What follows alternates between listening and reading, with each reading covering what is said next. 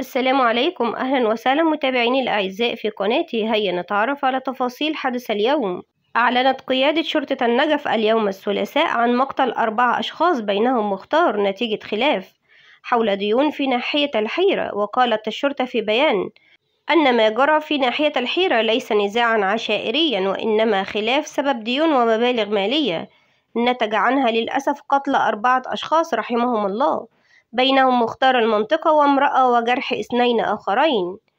كمعلومات أولية وأضافت أن الأجهزة الأمنية ما تزال في محل الحادث وتستكمل إجراءاتها القانونية.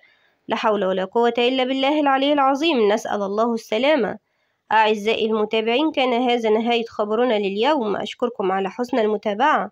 وأرجو منكم الاشتراك بالقناة والإعجاب بالفيديو. دمتم سالمين. وإلى اللقاء. والسلام عليكم ورحمة الله وبركاته.